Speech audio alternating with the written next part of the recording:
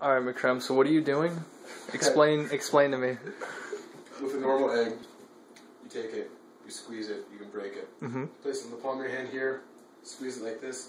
No matter how hard you think you're squeezing, you can't actually apply enough pressure to break the egg. So here. Do it over- Demonstration. do it over your sweater.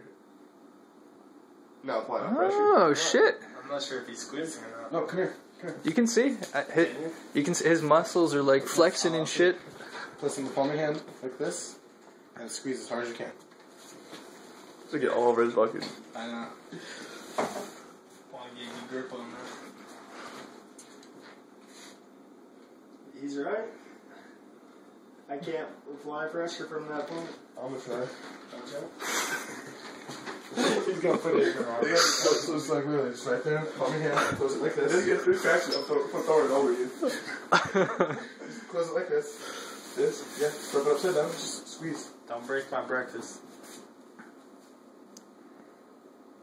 It's pretty cool. Pretty good shit.